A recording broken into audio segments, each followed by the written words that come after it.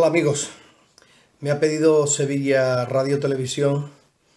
que os cuente mi reflexión sobre la situación que estamos viviendo con motivo de la pandemia por COVID-19. Y la verdad es que en los cuarenta y tantos días que estamos confinados, a uno le da tiempo a pensar de todo. Pero vamos, yéndome al principio, lo primero es que me cuesta muchísimo trabajo comprender que todo venga porque el pangolín, que es un animal de Asia, sea el huésped de este virus, se lo haya transmitido a los murciélagos y los murciélagos al ser humano. Lo de los murciélagos al ser humano es más fácil, pero lo del pangolín a los murciélagos me resulta eh, un poco extraño que esa sea la procedencia del COVID-19 sinceramente. Me suena más a, película de ciencia ficción eh, americana que a una realidad como la que estamos viviendo. Eh, no obstante, mm, una vez que esto se ha instalado aquí, otro de los puntos importantes de mi reflexión es si realmente hemos hecho todo lo posible porque el virus no se extendiera con la velocidad y que, que se ha extendido por el mundo y si realmente el ser humano está tan preparado como nosotros nos creemos, porque las pruebas demuestran todo lo contrario. O sea, de ser el animal, mm, el único animal inteligente de la Tierra y no haber controlado esta, esta pandemia me resulta también un poco un poco difícil de comprender. Mm, en, la era de la, tecnología, en la de los cohetes al espacio y en todas esas eh, adelantos que, ha conseguido la humanidad, me resulta un poco raro que, que, no tengamos los adelantos suficientes en la ciencia como para haber controlado que este virus no se extendiera con esta rapidez. No digo que, nos, que, no, que no se extienda, sí, pero que, lo, que, no lo hayamos podido controlar con más eficacia. Me da, me da la sensación de que lo podíamos haber hecho mejor, dado lo inteligente que se supone que somos. Que yo, en particular, y dentro de, los múltiples pensamientos que se me han pasado por la cabeza siempre, eh, he pensado que con lo insignificantes que somos en este mundo de galaxias y de lo, vete a saber lo que hay por ahí, eh, nos creamos todavía que somos eh, la panacea, que somos lo más importante que hay en, el planeta, ¿no? La verdad es que mm, eh, nos estamos comportando de forma irresponsable, nos estamos cargando el planeta, nos estamos cargando la naturaleza, nos creemos que somos el ombligo del mundo, nos creemos que somos lo más importante y hay veces que la culpa hace que nos comportemos de forma solidaria y tengamos buenas intenciones para, reciclar y para ayudar al prójimo, para ayudar a esos países que están pasando muchas necesidades y todo esto, pero no conseguimos ser realmente la raza que nos creemos que somos. Creo que debemos pensar muy profundamente después de que hayamos superado el COVID-19 en cómo somos y en qué camino debemos tomar para solucionar realmente los problemas de nuestra naturaleza.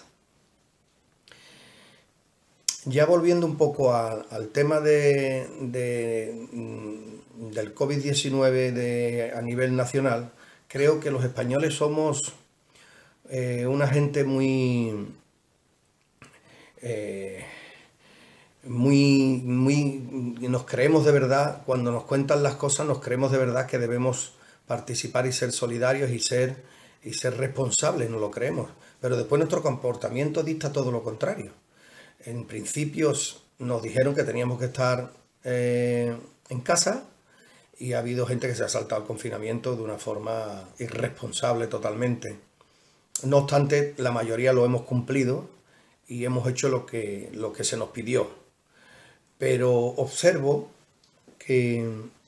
en cuanto se nos da un poquito de confianza, nos la tomamos entera, que es lo que ha ocurrido sin ir más lejos ayer cuando el gobierno comunicó que podrían salir los niños acompañados de uno de sus padres o de su madre o de su padre y, hemos visto el resultado, hemos visto imágenes por ahí mm, eh, la verdad es que son escandalosas porque la gente solo ha saltado a la torera y ha hecho lo que le ha dado la gana. Tenemos que ser mucho más responsables en ese sentido.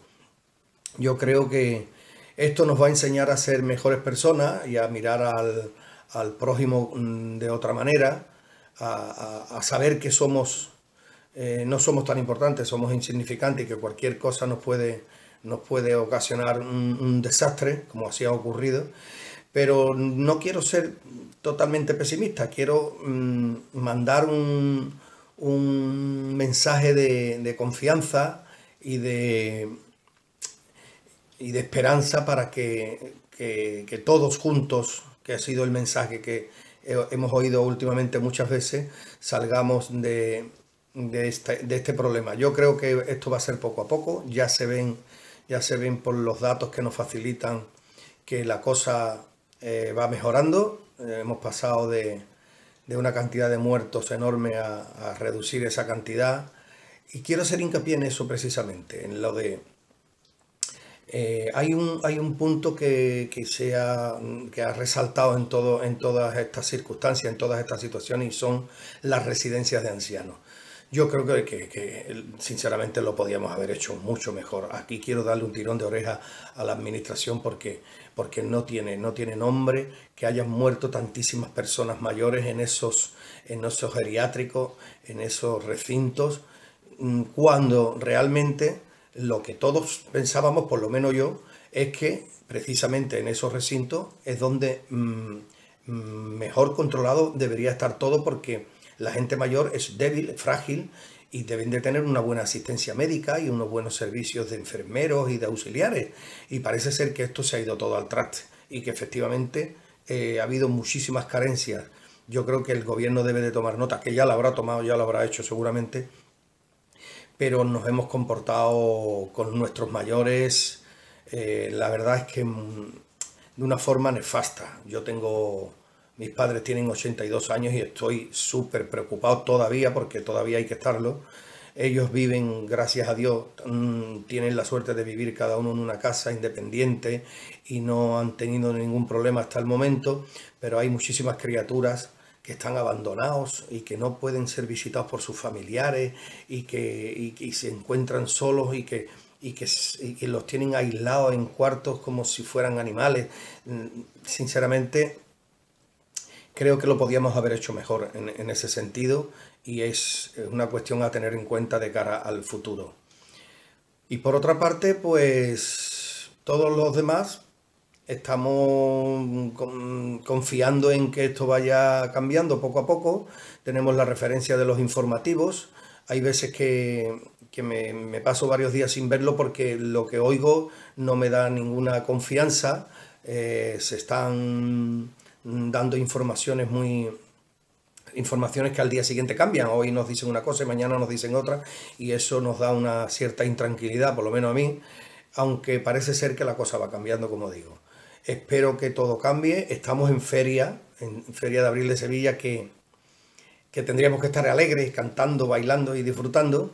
Y aunque he visto imágenes por ahí de gente que así lo ha hecho, mm, sobre todo el día del pescadito, que era el pistoletazo de salida de, la supuesta feria 2020 que no se va a llevar a cabo, y he visto gente disfrutando y pasándoselo bien, que me parece perfecto, porque al final lo que tenemos que intentar es ser felices y tener esperanzas de cara, de cara al, futuro, que es de lo que se trata. El ser humano se adapta fácilmente a, las penurias y a, las circunstancias, a las malas circunstancias que le plantean la vida y, las vamos superando. Somos, la verdad es que somos duros y, salimos de todo lo que se nos ponga por delante. Y esa es la historia. Eh, tener esperanza, tener confianza